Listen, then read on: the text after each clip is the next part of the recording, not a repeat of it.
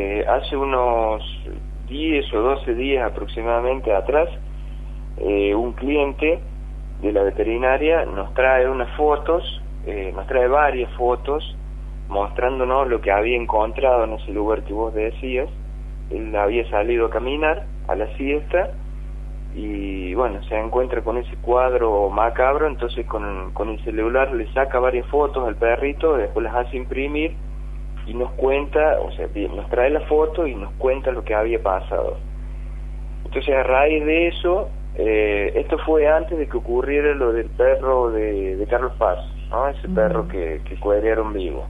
Entonces a raíz de eso, nosotros, eh, por un lado, tratamos enseguida de eh, tratar de hallar el culpable, eh, pero primero teníamos que identificar eh, al perro, es decir, quién era el dueño del perro, si es que el mismo dueño lo mató, o si, si ese perro fue sacado de otra casa y, muerto por, por, un, por un tercero. Y por otro lado, eh, quisimos hacer también una campaña de concientización sobre el maltrato.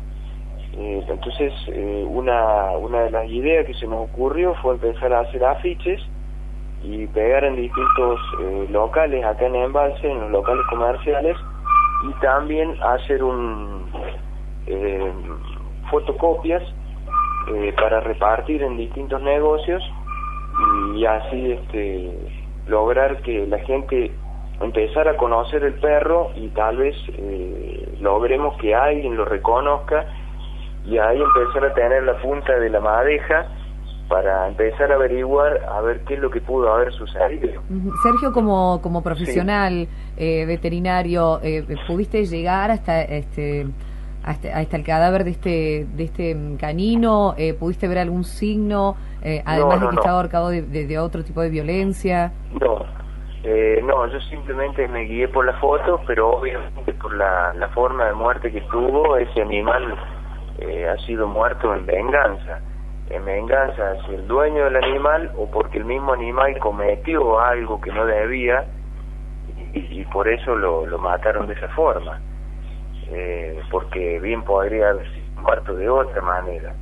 O sea, tiene un, para ustedes tiene un, un es un símbolo. De tiene un eh, significado la muerte exactamente, Exactamente, exactamente.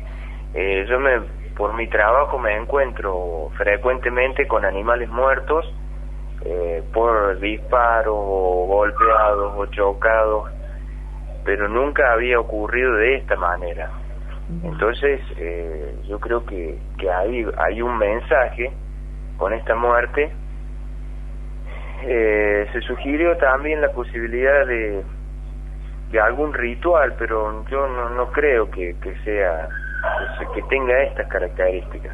eh, obviamente que alguien sabe, alguien ha visto, pero eh, como ocurre en la mayoría de los casos, a veces tienen miedo de hablar o no quieren no quieren meterse en problemas, entonces a veces hay que trabajar un poco más el tema para lograr un un resultado, ¿no? ¿Se puede llegar a realizar alguna denuncia? ¿No la han realizado todavía? Eh, legalmente tenemos tiempo para hacer una denuncia. Eh, según me asesoraba un, un oficial de policía, aproximadamente, yo no recuerdo bien, pero aproximadamente dos años. O sea que tenemos tiempo para, para hacer las investigaciones que correspondan y después presentar la denuncia, pero sobre algo más en firme, con más elementos, ¿no?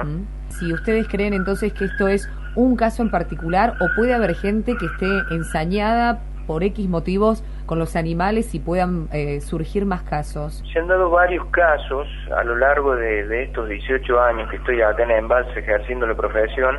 No recuerdo bien, pero en tres o cuatro oportunidades se han encontrado eh, gallinas degolladas pero en rituales con, con velas y todas esas cosas que, que dice la gente que hace un banda, ¿no? Yo no sé realmente qué secta puede ser, pero obviamente eh, eso tiene más un tinte religioso que una cuestión personal, como en este caso. Y siempre han sido aves, nunca nunca he visto yo este otros animales sacrificados.